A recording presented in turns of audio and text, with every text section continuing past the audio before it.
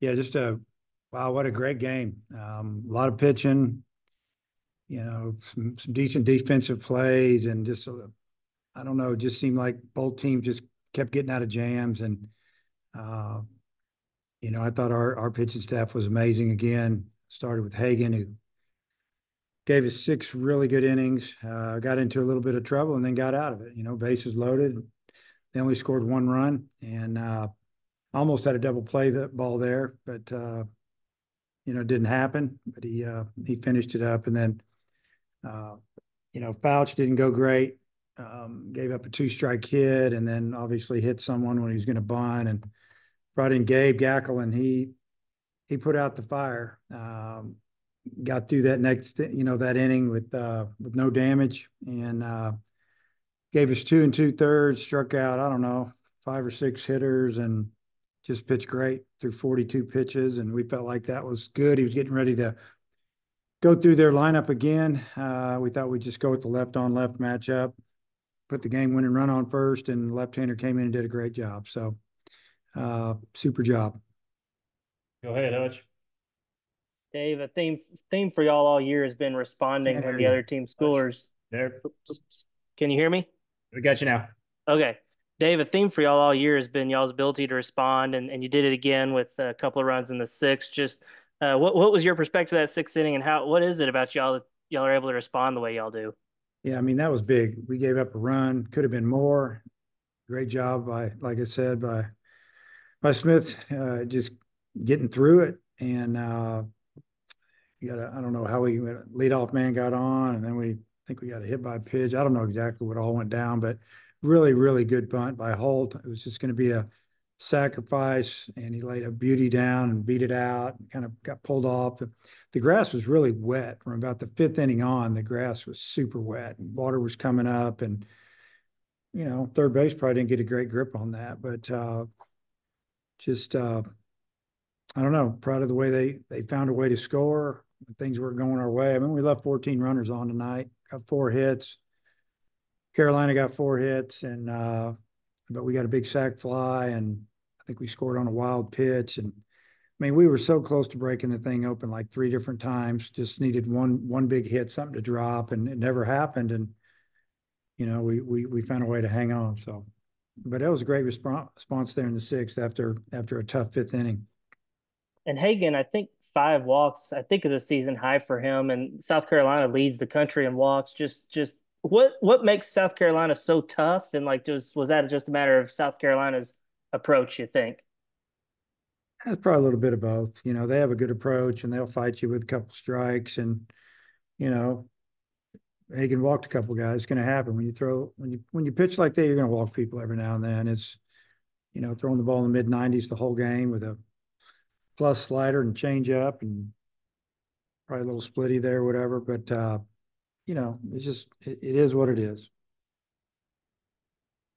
Jackson.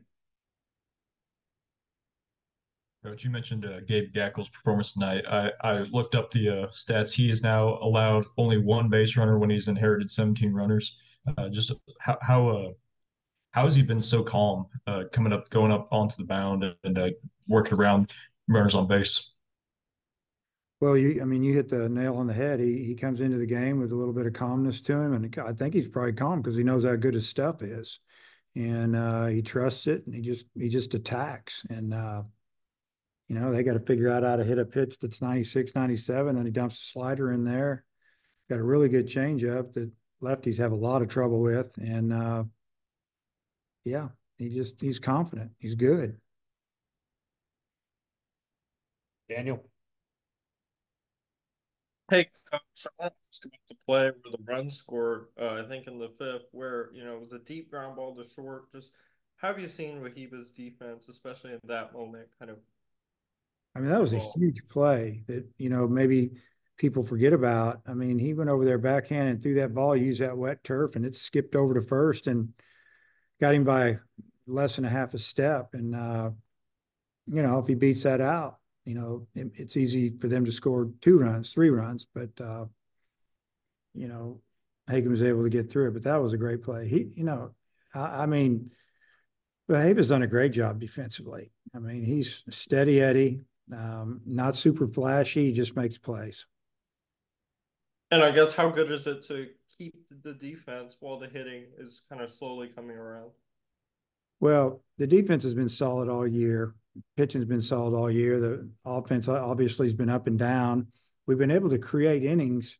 We just haven't finished it. We haven't gotten that hit. I mean, uh, you know, there we were tonight. Uh, but it's been great. It's been great to have the defense and the pitching, and pitching is defense. So um, our infielders and outfielders, they're they know how good our pitchers are, and they know they're around the zone. I just feel like they're ready to roll every pitch, and um, they made a lot of good plays. Thanks, coach. Yeah. Christina. Yeah, Dave, South Carolina's starter was pitching pretty well before that, I guess, apparent injury. Just what was he doing well in those first couple innings? You know, it was uh, he had us a little frustrated. Um, his fastball had a little carry on it, and uh, we were having trouble getting on top of it. We were hitting fly balls.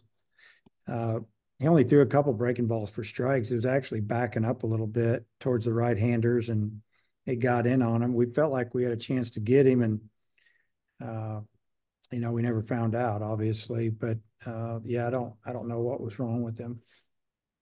Does the uh, schedule change tomorrow? Tomorrow change any of your plans for uh, some of the pitching, or change like how long some of those guys can go?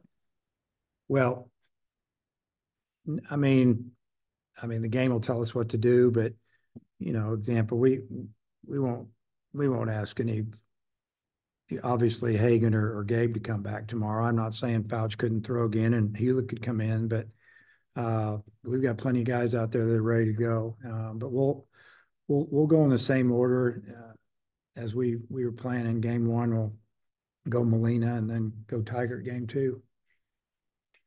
Hutch, last one before we get Hagen, Gabe on here.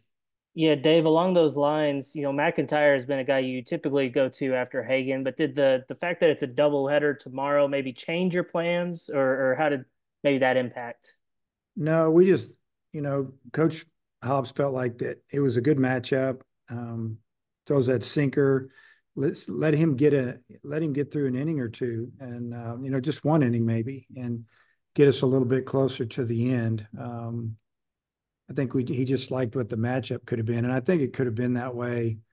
Uh, he, had the first hitter down one two, and you know, he just slapped one in the hole, and then obviously, you know, they're going to lay down a sack bunt, and he hit the hit the batter in the head. I'm glad that he's okay, but uh, just felt like he was probably a little rattled, and we needed to get him. And uh, Gabe came in and did a great job. How good is it that you know and you still have McEntire in the bullpen and several other arms too? You know, going into a you know day where you're going to play at least 18 innings.